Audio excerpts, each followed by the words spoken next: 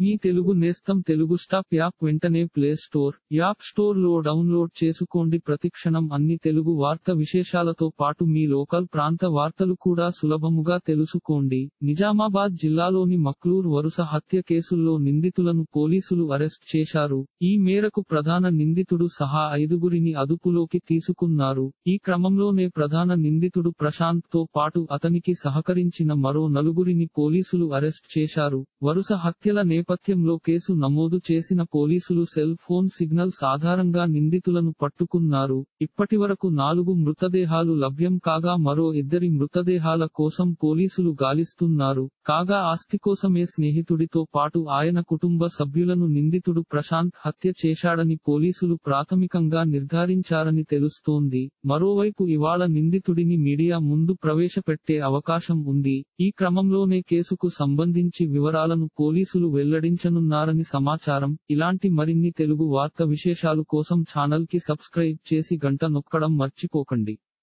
ఈ వీడియోని తోటి మిత్రులకి షేర్ చేయండి. మీ అభిప్రాయాన్ని కామెంట్లో తెలపండి.